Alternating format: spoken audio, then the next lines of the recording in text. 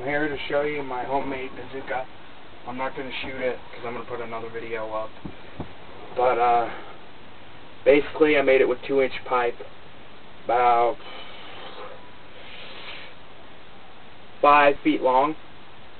And I cut it in half and put the ball valve in.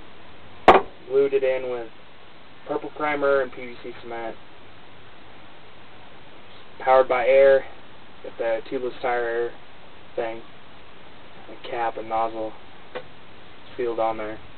You put about 40 pounds of pressure in and load it with whatever you want, BBs, if you have like a Nerf Rocky, shove it in there. And you release all the air as fast as you can and boosh.